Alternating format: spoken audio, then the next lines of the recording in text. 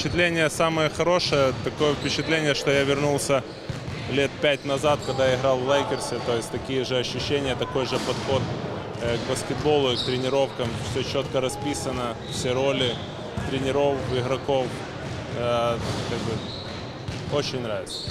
Многие спрашивают, во-первых, даже не знают э, в лицо тренеров, где они, их заслуги, где, что они тренировали, какие команды. И подходят, спрашивают, когда узнают, э, проникаются каким-то уважением и на тренировке уже более активно работают. Ну, Мы с Жо работаем больше с большими ребятами, как бы это наше основное направление. Материал очень хороший, и у нас может быть очень приличная и сильная передняя линия.